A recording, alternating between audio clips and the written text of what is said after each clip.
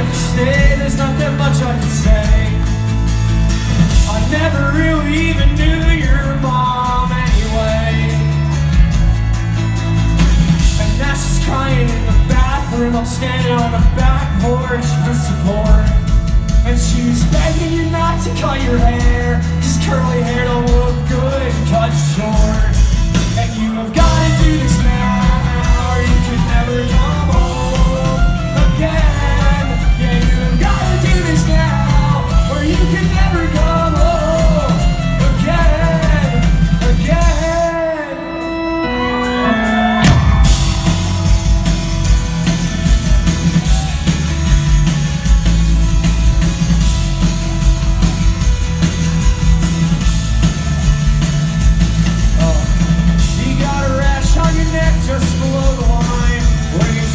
tops covering leaves your skin bare. Such an unimportant detail that has nothing to do with anything, but it's the